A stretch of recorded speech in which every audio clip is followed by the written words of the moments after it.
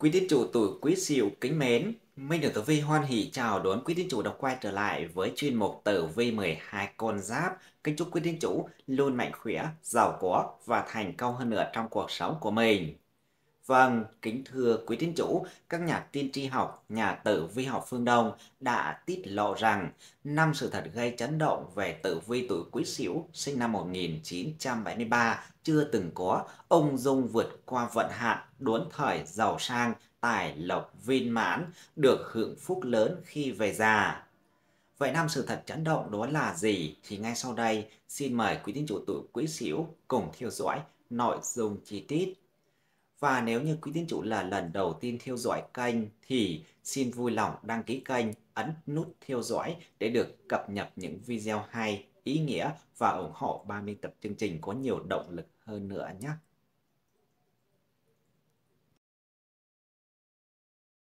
Quý bản mệnh thân mến, Đức Khổng Tử từng giảng trong luận ngữ, từ sinh hữu mệnh, phú quý tại thiên, nghĩa là sống hay chết đều có số mệnh, giàu sang phú quý đều ở trời. Sinh tử, phú quý, nghèo hèn của một người phần lớn là do trong vận mệnh của họ được thiên thượng ban tặng. Những sự thăng trầm của vận mệnh, những lo toan bộn bề của cuộc sống, nhiều lúc khiến chúng ta cảm thấy mệt mỏi, đời người 10 phần thì 8, 9 phần không như ý. Không ai là thuận buồm xuôi gió, ai cũng sẽ gặp phải mưa gió trong hành trình cuộc đời, khiến cuộc đời nhiều thêm phần u ám, thiếu đi phần ánh sáng. Nhìn dòng sông dài của lịch sử, chúng ta chỉ như một giọt nước trong biển cả mênh mông, đời người có biết bao tiếc nuối và không như ý, tất cả đều do số phận âm thầm đưa đẩy sau lưng. Nếu vận mệnh có vai trò quan trọng như vậy trong kiếp người, vậy chúng ta nên làm thế nào để biết được số mệnh của mình? Trong video ngày hôm nay, Minh Đường Tử Vi xin chia sẻ về năm sự thật động trời, cuộc đời tuổi Quý Sửu, sinh năm 1973, chưa ai từng tiết lộ. Quý anh chị tuổi Quý Sửu, nếu có bất cứ câu hỏi nào về vận mệnh tài lộc của mình thì hãy để lại lá số tử vi, ngày tháng năm sinh, giờ sinh trong phần bình luận ở dưới video này để ban biên tập chương trình sẽ giải đáp cho quý anh chị trong thời gian sớm nhất và hoàn toàn miễn phí nhé. Đừng quên ấn nút đăng ký kênh và biểu tượng chuông để được cập nhật những video hay và hữu ích về tuổi của quý anh chị. Không để anh chị đợi lâu hơn nữa, ngay sau đây là luận giải chi tiết. Tuổi Quý Sửu, sinh năm 1973, mệnh tăng đố mộc, tức gỗ cây dâu, thuộc hành mộc. Mệnh mộc đại diện cho sự sinh trưởng và phát triển của thực vật, Mộc được xem là nguồn năng lượng xanh không thể thiếu trong tự nhiên. Có mộc mọi thứ mới có sức sống, có năng lượng để sinh sôi nảy nở. Người tuổi Quý Sửu được hộ mệnh bởi Phật ban phúc, Bồ Tát phổ hiến, Phật ban trí, Bồ Tát văn thủ, Phật hộ mệnh, Thích Ca Mâu Ni Phật, Phật bảo hộ, Hư Không Tạng Bồ Tát. Mệnh tương sinh, hỏa và thủy, mệnh tương khắc kim và thổ. Nam mạng cung ly, hành hỏa, thuộc đông tứ mệnh. Nữ mạng cung càn, hành kim, thuộc tây tứ mệnh người sinh năm 1973 thuộc mệnh mộc. Do vậy người tuổi này luôn được khuyến khích sử dụng các tông màu thuộc hành bản mệnh, hành mộc hành tương sinh hành thủy và nên hạn chế ứng dụng các màu sắc thuộc hành kim trong quá trình lựa chọn vật dụng cho bản thân. Màu bản mệnh, xanh lục, xanh lá cây. Màu tương sinh, xanh nước biển, xanh dương. Màu kỵ, trắng, xám, y.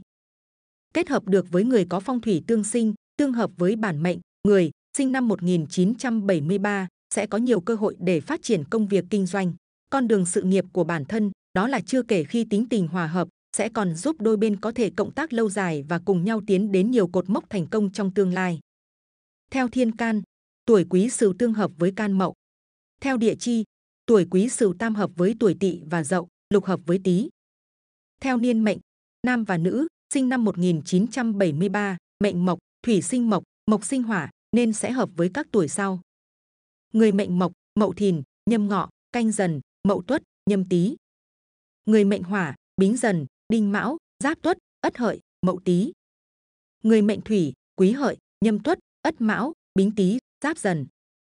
Trong làm ăn hợp với các tuổi, ất mão 1975, đinh tỵ 1977, kỷ mùi 1979.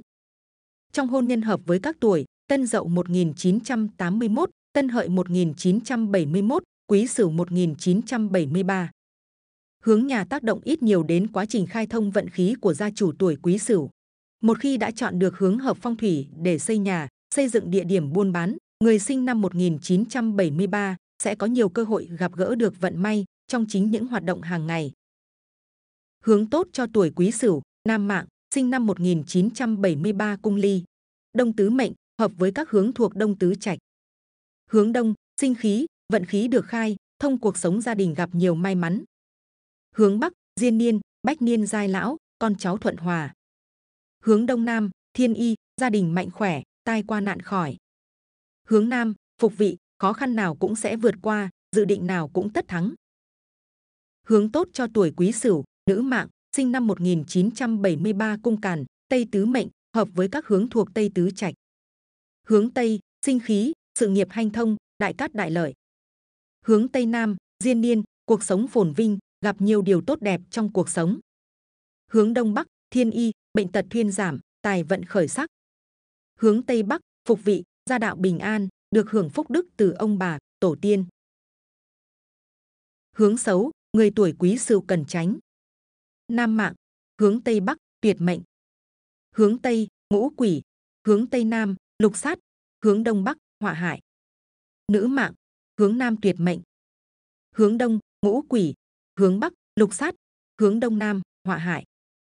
Người sinh năm 1973 nên ưu tiên lựa chọn biển số xe, số điện thoại có các chữ số sau đây bởi theo quan niệm tử vi, những con số này được cho là sẽ mang lại tài lộc, giúp giải vận cho những chủ nhân mệnh mộc sở hữu chúng.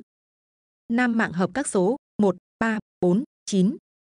Nữ mạng hợp các số 6, 7, 8. Tổng quan tử vi cuộc đời của người tuổi Quý Sửu, sinh năm 1973, theo từng phương diện. Về tính cách, những người sinh năm 1973, tuổi Quý Sửu thuộc mệnh mộc, cụ thể là tăng đố mộc, tức gỗ cây dâu. Cũng như các nạp âm khác của mệnh mộc, người mệnh tăng đố mộc có tấm lòng nhân ái, hiền và thiện lương. Tính cách rộng rãi, mềm dẻo, có lối suy nghĩ và ứng xử đậm chất nhân hòa là đặc trưng của người mệnh này. Với họ thì chữ nhân là cái gốc để tu thân và lập nghiệp, nguyên tắc phương châm sống này cũng đã trở thành bất di, bất dịch, xây dựng nên người mệnh tăng đố mộc có nhân cách tốt đẹp và cao quý vô cùng. Cũng vì vậy mà họ nhận được sự ủng hộ và niềm tin của nhiều người. Tuy nhiên, nhược điểm của mệnh này là dễ bị thị phi, dễ dính vào tranh luận, cãi vã, dễ bị hiểu lầm và mang tiếng xấu. Bù lại, hầu hết người mệnh tăng đố mộc rất có tài, đặc biệt có khả năng làm những việc liên quan đến công tác xã hội, chính trị. Nếu có mệnh lớn làm nên đại sự thì đất nước được nhờ. Bản mệnh cũng rất giỏi giao tiếp nắm bắt được suy nghĩ của người khác, có lối suy nghĩ và ứng xử khéo léo vô cùng. Người này hiểu sâu, biết rộng, thấu hiểu sự đời, không lo chuyện bao đồng, cũng không vướng phải những rắc rối không đâu. Họ có đường tài lộc khá tốt, tiền vận tài khí chưa tụ, nhưng tới trung vận thì vận khí dần tốt lên, có cơ hội phát tài, hậu vận tốt đẹp, gia nghiệp đã thành. Họ thông minh, có hợp thức, có tài năng về kỹ thuật và nghệ thuật, thích hợp làm học giả, giáo viên, bác sĩ. Người này không dựa được vào gia đình, mà tay trắng lập nghiệp, vợ chồng có thể bạch đầu giai lão, con cái thông minh, tài giỏi. Sinh vào mùa xuân, mùa hạ thì không phải lo chuyện cơm ăn áo mặc, sinh vào mùa thu mùa đông thì phúc thọ mãn đường, sinh ban ngày thì được lộc, sinh ban đêm thì hưởng an lạc. Người sinh năm 1973 không trầm tĩnh như người tuổi Tân Sửu, không mạnh mẽ như người tuổi Ất Sửu, nhưng vẻ ngoài của người tuổi Quý Sửu toát lên khí chất nho nhã, thanh cao và luôn gây được thiện cảm với người xung quanh. Người tuổi Quý Sửu vốn không sôi nổi, nhưng luôn sẵn lòng giúp đỡ người khác. Họ có chí tiến thủ, nhưng không quá tham vọng với quyền lực như người tuổi Sửu mệnh Hỏa. Trong công việc, họ cẩn trọng, biết tiếp thu ý kiến của người khác, có tinh thần cầu thị, có thể nói con người họ giống như tính chất của hành mộc, luôn vươn lên tươi xanh và cân bằng, chan hòa sức sống. Người tuổi Quý Sửu mệnh mộc có tinh thần hợp tác và biết cách tạo dựng các mối quan hệ tốt đẹp trong công việc cũng như trong cuộc sống. Cũng có không ít người tuổi Quý Sửu mệnh mộc khá thông minh, nhanh nhẹn, họ biết tận dụng mọi cơ hội khi có thể để biến lý tưởng của mình trở thành hiện thực. Cuộc đời của người Quý tuổi Sửu mệnh mộc tuy có gặp khó khăn, nhưng họ đều biết cách vượt qua để tạo lập sự nghiệp cho bản thân. Người tuổi Quý Sửu cũng là người có nguyên tắc, một khi đã nhận ơn của ai thì họ nhất định không bao giờ quên. Trong cuộc sống thì họ cũng là người nghĩa khí, dù lúc vinh quang hay khó khăn, người này đều sẵn sàng giang tay giúp đỡ anh em, bạn bè và những người thân yêu xung quanh mình. Về mặt sự nghiệp, dưới lớp vỏ sâu lắng là một tuyếp người rất bản lĩnh và kiên cường, sẽ không hoa khi cho rằng người này sinh ra để trở thành nhà lãnh đạo quản lý. Nếu biết cách nắm bắt thời cơ trong giai đoạn tuổi tứ tuần, thì cuộc sống về sau rất viên mãn. Trong công việc, họ cũng là một nhân viên năng nổ, tháo vát, luôn đạt thành tích cao. Người tuổi này cũng đạt được nhiều thành tích trong các lĩnh vực khác nhau của cuộc sống. Chính vì vậy mà tuổi quý sửu luôn là tấm gương sáng, được mọi người quý trọng và đề phục. Người tuổi quý sửu thường có lối ứng xử khôn khéo, họ luôn biết cách tạo dựng các mối quan hệ tốt đẹp với đồng nghiệp, dựa vào đó để tiến hành công việc của mình một cách thuận lợi. Tuy nhiên, những người này lại tỏ ra thích hợp với những công việc mang tính cá nhân hơn là tập thể. Các công việc có tính chất ngoại giao hay tư vấn cũng đều phải phát huy sở trường của người tuổi quý sửu. Đây là môi trường và mảnh đất giúp tuổi này phát huy được hết điểm mạnh của mình. Lĩnh vực xây dựng, nội thất, kinh doanh, nhà hàng, khách sạn, thực phẩm, hải sản, đi thuyền đều phù hợp với người tuổi quý sửu. Nghề nghiệp hợp với người tuổi quý sửu bao gồm nội thất, kiến trúc, nghề mộc, nhà hàng, quán ăn. Đặc biệt người tuổi quý sửu cũng rất hợp với những nghề liên quan đến kinh doanh như quán xá, thủ công mỹ nghệ, chăn nuôi thủy hải sản. Ngoài ra cũng rất khôn ngoan, phù hợp với các nghề như chính trị, ngoại giao. Về mặt tình cảm, với tính cách có phần hơi kiệm lời, người này thường rất ít bày tỏ tình cảm thông qua lời nói. Thay vào đó thì họ sẽ hành động thực tế. Đây được xem là ưu điểm của họ trong mắt người bạn đời của mình. Và cũng nhờ đặc điểm đặc biệt này mà cuộc sống hôn nhân gia đình của người sinh năm 1973 thường rất hạnh phúc và êm ấm. Vận mệnh cuộc đời của người tuổi quý sửu được biến đổi qua từng giai đoạn khác nhau, theo đó mà may mắn, hung hạn của bản mệnh cũng khác nhau. Từ 20 đến 25 tuổi, 20 tuổi, nhiều điều tốt đẹp, tình cảm dồi dào, đường tình duyên có phần tốt. 21 tuổi, năm này kỵ đi xa, công việc bình thường. 22 tuổi, năm này có hạnh tài, hay có nhiều hy vọng về công danh nghề nghiệp. 23 tuổi năm xấu, kỵ đi xa và có hao tài lộc. 24 tuổi khá tốt, phần công danh và sự nghiệp có nhiều kết quả tốt đẹp. 25 tuổi năm toàn vẹn, làm ăn được khá. Từ 26 đến 30 tuổi, 26 tuổi hy vọng thành công về công việc dự tính, nên đi xa hay làm ăn lớn tốt. 27 và 28, hai năm này bạn nên đem hết khả năng của mình, làm việc ra, sẽ có kết quả tốt đẹp về phần tài lộc lẫn công danh. 29 và 30 tuổi, năm 29 kỷ tháng 6 âm lịch, có đau bệnh, hao tài. Năm 30 tuổi thì kỵ tháng 5, có đại hạn. Từ 31 đến 35 tuổi, 31 tuổi có triển vọng, phát đạt về công danh, sự nghiệp vững chắc, danh vọng có tam tiếng. 32 và 33 tuổi, khá tốt, nhưng năm 33 tuổi hơi xấu vào những tháng cuối năm, kỵ đi xa, có hao tài hay đau bệnh bất ngờ. 34 và 35 tuổi, hay và nhiều tốt đẹp, nên cẩn thận về việc làm ăn từ 36 đến 40 tuổi. 36 tuổi, năm này không được tốt lắm, việc làm ăn chỉ ở mức trung bình. 37 và 38 tuổi, hai năm này có phần phát đạt tột độ về tiền bạc, nhưng gia đình có phần suy yếu về tình cảm và bổn mạng. 39 và 40 tuổi, hai năm này nên lo việc gia đình tốt hơn, không nên làm ăn lớn hay đi xa có hại. Từ 41 đến 45 tuổi, 41 tuổi khá hay về vấn đề con cái và phần tài lộc tốt đẹp. 42 và 43 tuổi, Hai năm này sung kỵ, tuổi có đau bệnh. 42 sung kỵ tháng 10, 43 tuổi, sung kỵ tháng 9 âm lịch. 44 và 45 tuổi, hai năm này việc làm trung bình.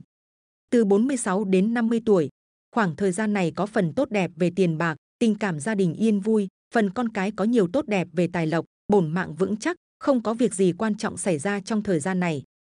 Từ 51 đến 54 tuổi, trừ năm 53 tuổi có xung kỵ vào mùa đông, Ngoài ra những năm khác vào tháng khác bình thường, bổn mạng vững vàng. Từ 54 đến 56 tuổi, 54 tuổi có đau bệnh nhỏ, năm này cũng khó làm ăn, kỵ vào tháng 9 tháng 10, coi chừng bệnh hoạn. Năm 55 tuổi, vượt được dễ dàng, nhất là những tháng 4, tháng 5 và tháng 6 âm lịch tài lộc nhiều. 56 tuổi hay đẹp, tinh thần vững mạnh, cuộc sống lên cao, có thể giữ được thân thể bình thường.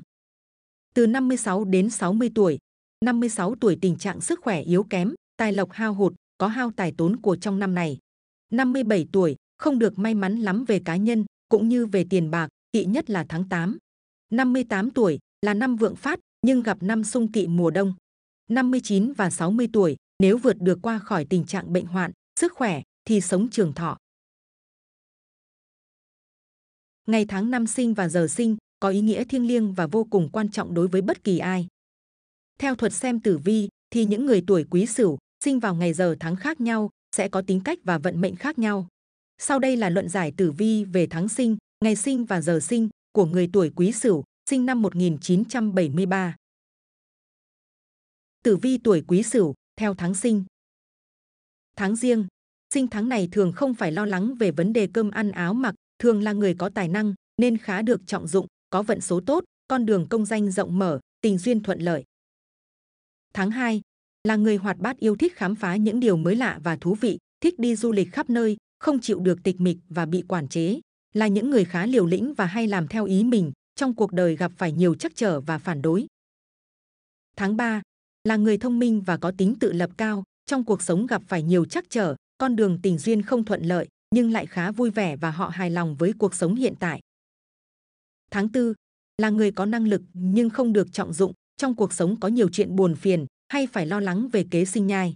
Sức khỏe không tốt, thường hay mắc một số bệnh thông thường. Tháng 5, cuộc sống nhiều thăng trầm lúc lên lúc xuống, tính cách mạnh mẽ, kiên định, dù khó khăn vẫn quyết theo đuổi ước mơ.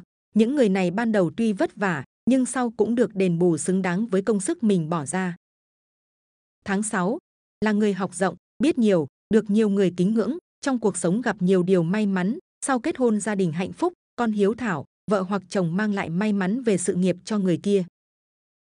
Tháng 7, thông minh, giỏi giang và có hiểu biết, sinh ra trong một gia đình có truyền thống, nên đây là những người được nuôi dạy rất kỹ lưỡng, sự nghiệp được người thân trải sẵn thảm đỏ, nên chỉ cần cứ thế mà đi thôi.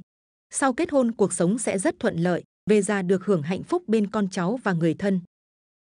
Tháng 8 là người khéo léo trong cách ứng xử, có tài năng, chín chắn, cẩn trọng và biết suy nghĩ chu toàn, nên rất thành công trong công việc, nhưng cũng cần chú ý tới sức khỏe bản thân nhiều hơn. Ngoài ra, dễ mắc phải một số bệnh về xương cốt. Tháng 9 là người thông minh, tài giỏi có chí hướng, những người này danh vọng rất cao. Nếu tham gia vào giới chính trị thì sẽ gặt hái được rất nhiều thành công và cả danh tiếng, vận số rất tốt, cuộc đời ít phiền muộn và có vận may về con cái. Tháng 10, sinh tháng này thì người có vận số lúc lên lúc xuống, gặp nhiều khó khăn, sự nghiệp ban đầu vất vả gặp nhiều cản trở từ nhiều phía, nhưng sau đó nỗ lực đã được đền đáp, đạt được nhiều thành tựu. Tháng 11, có năng lực nhưng tham vọng quá lớn, trong công việc thường không thuận lợi vì có quá nhiều đòi hỏi không thiết thực, tính cách tự cao nên không được lòng mọi người xung quanh, vận số cũng bình thường, không có gì nổi bật. Tháng 12, không có ý chí phấn đấu vươn lên, làm người không kiên định và thiếu quyết đoán, nên làm việc gì cũng không thành, cuộc sống khó khăn và nhiều vất vả. Tử vi tuổi Quý Sửu theo ngày sinh. Ngày Tý, những người này sinh ra trong gia đình khá tốt, được cha mẹ hết lòng yêu thương, nên cuộc sống vui vẻ và không có nhiều suy nghĩ. Trong công việc khá thuận lợi, được lòng nhiều người, nên chú ý hơn tới sức khỏe bản thân. Ngày Sửu là những người đặc biệt may mắn, ăn ở có phúc, nên khi gặp khó khăn sẽ có người giúp đỡ. Trong cuộc sống nhiều điều vui vẻ có phúc về con cái. Ngày Dần, cuộc sống với nhiều lo toan, bộn bề tính toán, nên những người này tính cách thường không tốt, hay quát tháo và khá nóng nảy. Tuy nhiên, lại rất may mắn trong con đường tình duyên, cuộc sống cũng tốt đẹp hơn sau khi kết hôn. Ngày Mão, tính cách nóng nảy, không biết suy nghĩ thiệt hơn, nên thường thất bại trong cuộc sống, trong công việc không thuận lợi, nảy sinh nhiều vấn đề mâu thuẫn. Ngày Thìn, có năng lực, ý chí, biết phấn đấu vươn lên trong cuộc sống, nên gặt hái được nhiều thành công tốt đẹp, đường tình duyên thuận lợi, về già cuộc sống hạnh phúc vui vẻ bên con cháu. Ngày Tỵ, đây là những người có tài, nhạy bén trong đời sống lẫn công việc, luôn cố gắng phấn đấu hoàn thành tốt công việc được giao. Họ thân thiện, dễ gần gũi nên có khá nhiều bạn bè, tính cách hay giúp đỡ người khác nên cẩn thận trọng, kẻo giúp phải kẻ xấu tiền mất tật mang.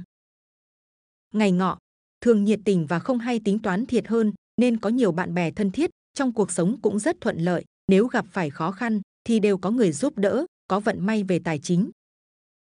Ngày mùi, người này tính cách tính toán chi ly hay so bì thiệt hơn, tuy giàu có nhưng lại keo kiệt, trong cuộc sống gặp phải nhiều chuyện không may. Ngày thân, người này tính cách phóng khoáng, hào sảng, thích lo chuyện bao đồng, trong cuộc sống gia đình không thuận lợi, thường xuyên xảy ra tranh cãi. Ngày dậu, ăn ở tốt nên khi khó khăn được người khác giúp đỡ, trong sự nghiệp khá thành công và gặp nhiều may mắn. Ngày tuất, người này lúc nhỏ chịu nhiều vất vả nhưng có ý chí phấn đấu vươn lên trong sự nghiệp, nếu theo nghiệp buôn bán sẽ rất phát triển. Ngày hợi, tính cách không kiên định, thiếu quyết đoán nên thường không mấy thuận lợi, trong công việc hay trong cuộc sống thường xuyên gặp phải nhiều vấn đề khó giải quyết, sức khỏe cũng không tốt, chú ý tới các bệnh về đường tiêu hóa. Tử vi tuổi Quý Sửu theo giờ sinh. Sinh giờ Tý, Đây thường là những người thân thiện, hòa đồng. Trong cuộc sống, họ cũng biết cách thể hiện sự quan tâm, yêu thương của mình đối với người khác. Chính vì vậy nên họ được rất nhiều người yêu quý. Tình duyên của họ khá tốt, sau hôn nhân cuộc sống gặp nhiều may mắn, hưởng phúc con cái. Sinh giờ Sửu, những người này thường rất tài giỏi và có năng lực, tính cách hiền lành, ít nói và khá nhút nhát, theo nghiệp văn sẽ rất thành công nếu như sự nghiệp viết lách. Tuy vậy, nhưng đường tình duyên lại không mấy thuận lợi hay gặp nhiều cản trở từ phía gia đình. Sinh giờ dần, đây là những người mạnh mẽ, trọng tình cảm và nghĩa khí, họ rất sẵn lòng giúp đỡ người khác khi gặp khó khăn. Do sống có phúc nên được quý nhân giúp đỡ trong công việc lẫn cuộc sống, tuy đôi lúc gặp phải khó khăn nhưng đều được giải quyết ổn thỏa. Sinh giờ Mão, những người này tính cách cố chấp và cứng đầu nên rất thích tự chủ và làm theo ý của bản thân, đôi lúc vì những hành động vô ý của mình mà khiến người khác cảm thấy buồn phiền và thất vọng. Những người này thường có xu hướng đặt sự nghiệp lên trên tất cả, rất cố gắng nên đạt được khá nhiều thành tựu. Sinh giờ thìn, những người này thường rất tự tin vào bản thân mình, họ có tài ăn nói và rất hiểu ý người khác, có tài năng nhưng lại không gặp thời. Trong cuộc sống thường khá vất vả và gặp phải nhiều chuyện không vui, cần chú ý tới các mối quan hệ xung quanh, đề phòng có người cản trở. Sinh giờ tỵ, tuổi quý sửu sinh giờ tỵ thường có vận số may mắn do hợp con giáp, trong công việc cũng rất thuận lợi.